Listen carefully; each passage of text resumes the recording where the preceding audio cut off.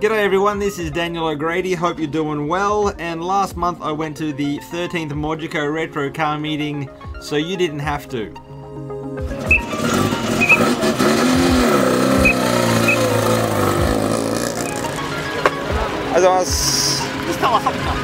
Ah.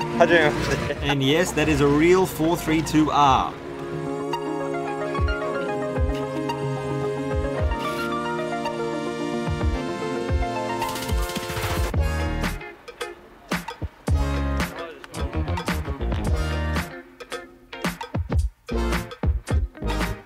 Also in town was Liam from Speed Nasty Garage.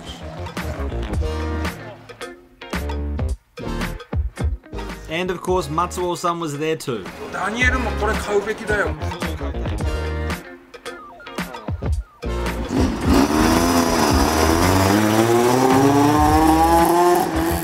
There was plenty to see in and around the event, but there were three old Toyotas that caught my eye. One was this super clean TA22 Celica.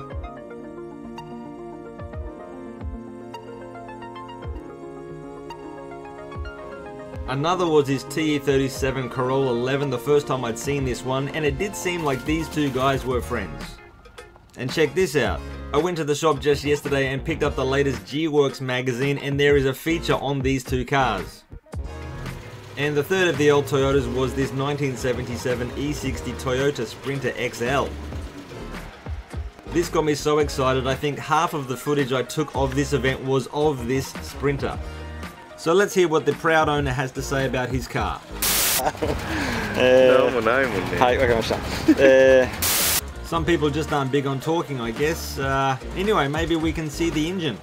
ー、じゃあエンジン見ていいですかエンジン見ていいよ Actually, before we get to that engine, I do have to ask, are you subscribed? Do consider it and do consider clicking that bell so you get notifications of live videos and new videos. It must be said the most noticeable thing about the 1166cc 3K engine is that it chongs, as in Cheech and Chongs. I love carbon monoxide. Right Look, we are far from done, but I would love to hear your thoughts on this car. Are you thinking, hey, it's like an E30 Corolla, it is, right? Yeah, so the sheet metal is most certainly different. But anyway, leave your comments and thoughts below, and let's uh, let's carry on.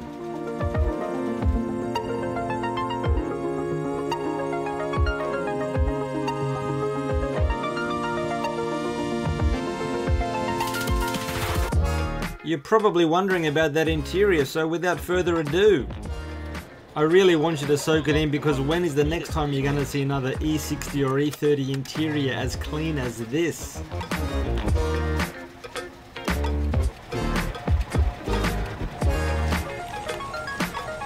Ninety-six thousand k's on the clock. Four-speed manual. Sprinter. Good seats. Hey, remember this from October? This is going out to Nielsen. And the Patreon giveaway last month was a 1 is to 43 diecast of the 787B. That is going out to John Dyson. And because it attracted so much attention last month, I'm going to give away a second one this month, plus that G-Works magazine. And just a general announcement, I'm thinking for next year there's also going to be some Patreon only videos. There will be more info as the new year approaches. Wow, it's a trailer queen. I wonder how many 40 year old Toyotas are getting this sort of treatment. Well, it's time to Chaka Yui. Everyone, thank you so much for watching, and I just want you to know I'm working my butt off to bring you the best bids I possibly can. And I do know there are people out there who do appreciate that. Love yous all. So everyone, thank you once again, and uh, we'll catch you next Saturday with another spectacular video. I have no clue what it's gonna be, but everyone, thanks for joining me, and take it easy. Goodbye.